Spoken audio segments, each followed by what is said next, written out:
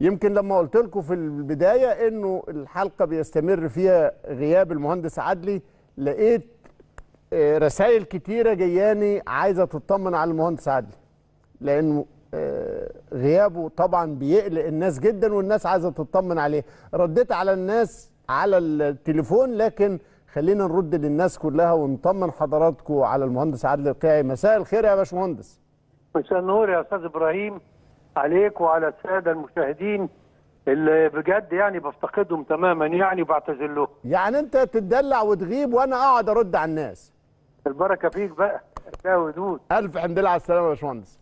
الله يسلمك. طمني وطمن الجمهور كله.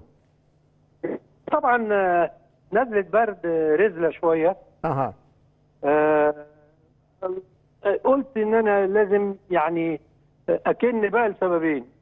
أحافظ على صحتي وعلى صحتكم أنتوا كمان يا إبراهيم في القناة. لا لا ما يعني ما تجيبهاش فينا. أهلا وسهلا. لا يعني آه، لقيت إن يعني آه، حسيت اني لسه مش هقدر أستحمل ال- النزول وال والتكييف اللي هم يعني بي- بيسلطوه علينا ده. آه. آه. ويعني آخر مرة أنا قلت لهم خلي بالكم التكييف مفيش فايدة. لا الحمد لله على السلامة وإن شاء الله. تنورنا في حلقة الخميس إن شاء الله. باذن الله ربنا يعني دي مشيئة الله باذن الله.